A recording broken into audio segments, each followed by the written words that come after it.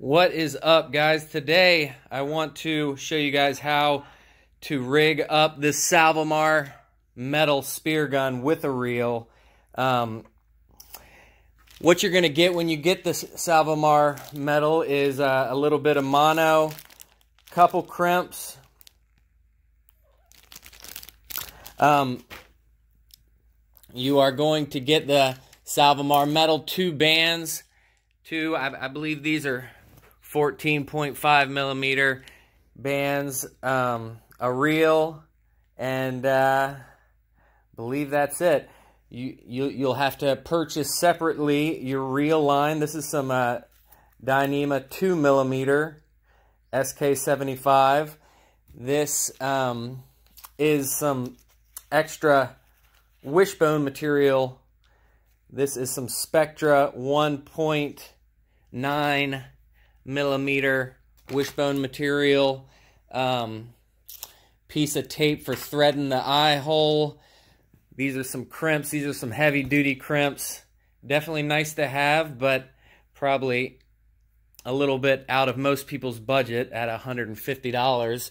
Um, little drill, unfortunately, since we like to use the two millimeter, this reel eye hole is a little small, so we're just going to bore that out just a teeny bit. That that drill barely, or um, that dr drill fits through there, and I just kind of wiggle it around to make that just a teeny bit bigger.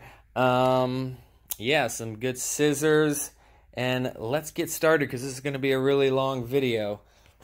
Let's see if I can put this camera right here, rig it up, see if it'll stay. Probably should have thought of that. All right, maybe that's a that could work. Let's uh, start by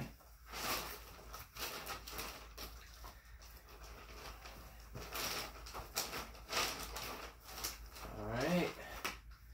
First, we can tie up this band. I've already pre-tied one of them to save some time, but we're going to go through that hole get it to about where you like it. These bands are pretty powered up, so I'll leave about an inch and a half, two inches right there. Hopefully you can see this. Twist. Actually, pause that. All right. Let's go from here and make sure I'm capturing this on video. So grab this push it through. Right here. Twist around once. Twist around twice. And I go pretty tight on that like that. And then through this hole. Now we're just going to cinch that up. That's all it is. That's all you need to do to tie your band. I leave a little excess right there. So you can as you're as you're using it, if this frays a little bit, you can slide that around and keep moving that fray around so it never actually breaks. You can um, these are super cheap to replace. It's just some Spectra 1.9 millimeter, but it's nice to have it last as long as possible. got your notches right here that they're going to go on. This is a rest notch.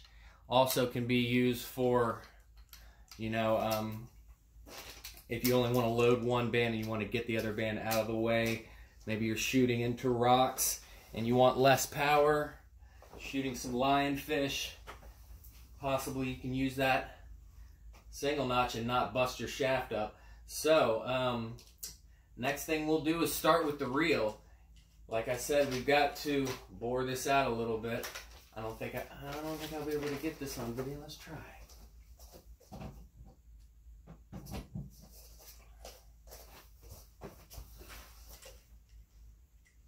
Oh, barely.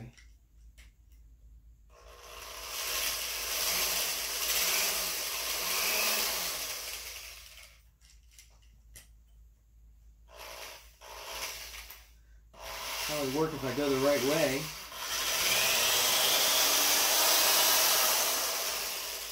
Just making that. Got plenty of plastic, plenty of plastic to work with, so I'm not too worried about that should be enough just to make that eye hole ever so slightly bigger. And uh, next, we need our Allen wrench. Uh-oh. Can't find the Allen wrench. I just had it out.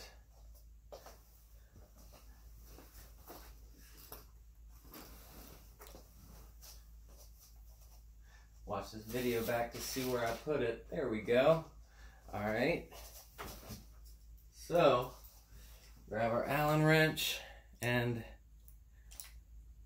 that's not the size.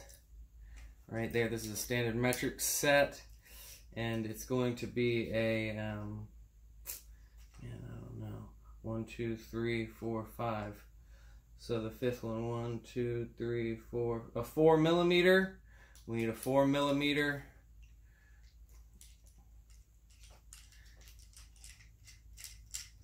Now when you take this out, be sure not to lose anything. And you want to try to make sure you're keeping this bolt just snugged up on there like that with that spring. That's what's going to give you your nice, now that's, that slides in there carefully and that's what's going to give you your nice action on the reel. We got a couple parts, one, two, three parts. kind of get out of our way and the reel line. We're going to start by getting this through, which can be a process because it's, like I said, it's pretty tight. So I'm just going to take a little bit, I'm feathering that down. Feathering that line down and I'm going to grab my tape. A little bit of tape right here and another tool that I need, a scissor. I'll just, I'm trying to cut just enough to wrap around that once it's kind of tricky because if you get too much, then you can't get the dang tape through. All right, so grab that, tape it around.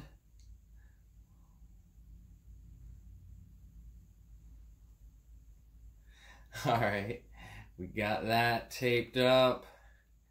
Nice little point. Let's hope that'll slide through. Sometimes I don't get this first try.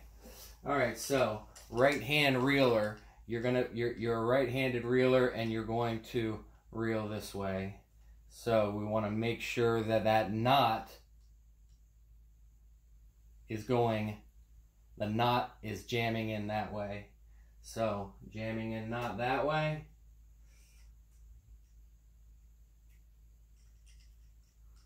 Oh Lord, not gonna make it. It's not quite wide enough. Oh, I got it through. But now I need a pair of pliers. Grab my old trusty pliers.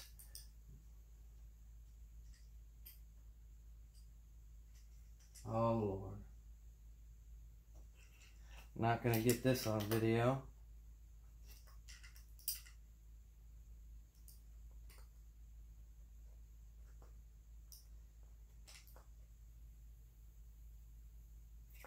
You'd think I'd have figured this out better by now.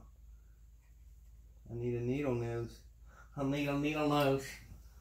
Where's my needle nosers? There they are. Why would I grab that? I know I need the needle nosers. Alright, needle nose. Can we get it? Please, please, please get it through. Don't rip that tape. Don't rip the tape. Oh, it's coming. Got that sucker through. That's a job. That's a little bit of a job. All right, now we're just to tie ourselves a knot. Just one knot. Nothing crazy. Hmm. Now, cutting through this line is a bear. We're to cut through that line now. Let's tie that root. Let's get a nice tight grasp on that so that's not to slip. Once we hit the end of that line, we're good. All right. That's not going nowhere.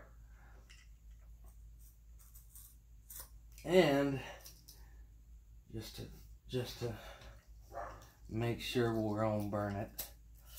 Yep, we're gonna burn it. Get a nice, nice bubble on that. All right, we got a good bubble. All right, yeah. You might just want to pay somebody to do this for you. This is a job. All right.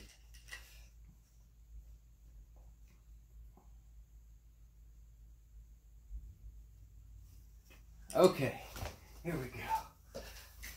This is my secret. I can't tell y'all about this. I can't show it to you. This is too this is too big of a secret.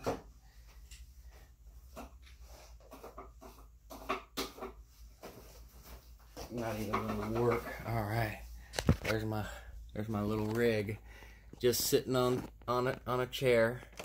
I can it's like my second hands. And I'm gonna start reeling this in. Alright, so I'm a right-handed reeler. I like to reel this way. I like to reel it this way. That's the way a right-handed reeler reels. That's important. You rig it for left-handed. If you want to, that's fine. But today we're rigging it for a right-handed reeler. Nice and tight, nice and tight, keeping them lines tight. And y'all can probably just fast forward it. I'll just stop the video here because this is going to take forever. What's up, guys? Just an update on this progress. You can see what I'm doing. I'm just taking my thumb and just pressing against the edge. I'll take my fingers and I'll jam them in there every once in a while to tighten up that wrap. And that's about it. You can see she's getting there. All right, guys, so we're adding our little bolt into the reel right here. And we just want to make sure that is just slightly tensioned on that spring. And we'll drop it in there. No. We'll drop it in there. Make sure it's locked into place on that. Drop it in here. And when you're spinning it, you just want to make sure that the drag is spinning at the same time with each rotation of the bolt. And that's important because that's keeping that spring tension exactly in the same place. And that spring is what's going to give you your nice drag tension adjustment.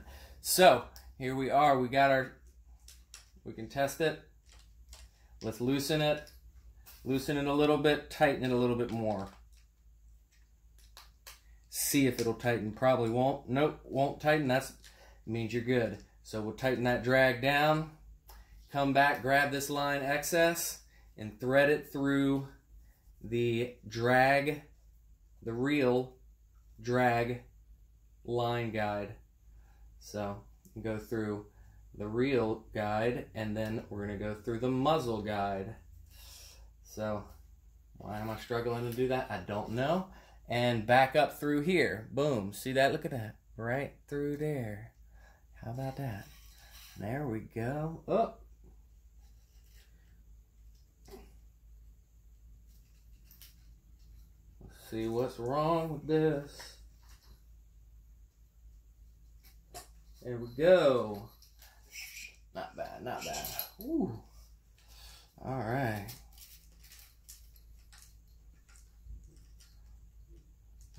tighten down that drag. Get that line nice and tight. You can see. There is your Dyneema 2 millimeter installed on the reel. Let's keep on going. What's next? What's next? What's next, might you ask? All right, here's our shaft. A lot of options on which way we want to want to put that uh, that monofilament, I'm going to go all the way at the end. Nice and smooth all the way through. Yeah, let's do it that way. We're just going to do one wrap of monofilament. Nice and easy. So, we gotta we gotta untangle this jank. what the world we got ourselves into. All right, we're untangling. Just keep flipping it. Don't get it all out of whack. All right, this is our own monofilament. This is, a, believe, just a hair thicker than manufacturer spec. Last a little bit longer.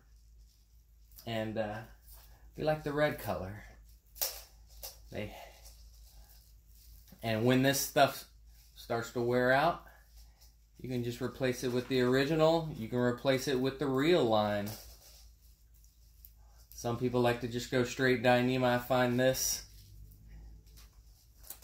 keeps the shot a little faster and uh, less likely to tangle.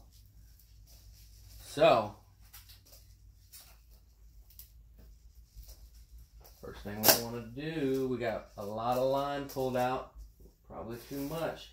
And uh, what's next? We got to add, we're going to add something.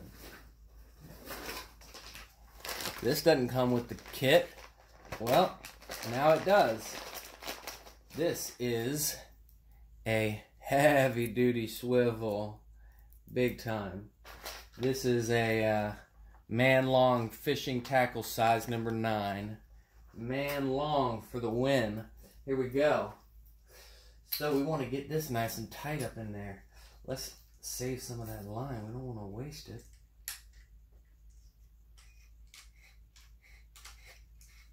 All right, keep on Bringing her up, bringing her up, bringing her up, bringing her up, bringing her up, bringing her up, bring her up, bring her up.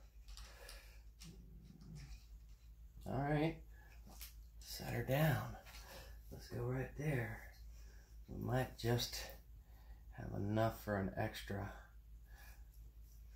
All right, so here's another knot for you. We got a knot for you amateurs. All right, what we're going to do, we're going to do the same thing we did on the Dagon bands. We just double double around it twice. You didn't even see me do it. One, two. Oh my God. Look how tricky that is. Well, that was tricky. No, that was not tricky. Y'all should be able to do that. Y'all should be able to do one of them knots. Come on now. Now for extra safety, I just stick it right through and I throw another knot in there. That ain't going nowhere, sucker. That's guaranteed to stay. You can you can bet your bet your bet your fish on it. You understand? You understand what I'm saying? I ain't going nowhere. We'll tighten that up. Pliers. Oh, pliers too. What? That boy going in. That boy ain't messing around. He wants that fish. He wants to keep the fish. Huh. Yeah. There we go. Well, now what you got there? What you gonna do now, boy? What you gonna do now? You gotta attach this thing to the shaft. Huh. How we gonna do it? We definitely want to get a Billfisher. Bill Fisher. This is not sponsored. 1.9 millimeter copper double barrel crimps. Not messing around. No, sir. We're going to go through one time through the line, one time through the mono. Now that's a tight fit. That barely even look at. That's how you know you got a tight fit when that is not even sliding down the mono. Oh my god, that's so tight. It's, it's tight to begin with. That's what you want. You want it tight to begin with. Barely get it to slide through. Now, now you want to make it hard on yourself to get it through the second time. Now, if it if it went too easy, nothing in life that's too easy is ever good. All right. Now,